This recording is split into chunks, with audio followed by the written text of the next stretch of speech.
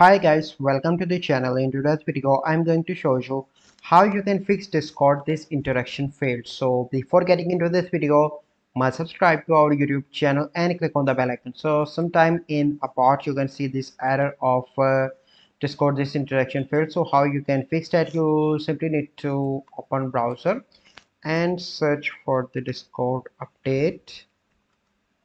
Okay, and you need to update your Discord uh, whether you are in smartphone or on the PC you simply need to search for the discord and you need to update the discord.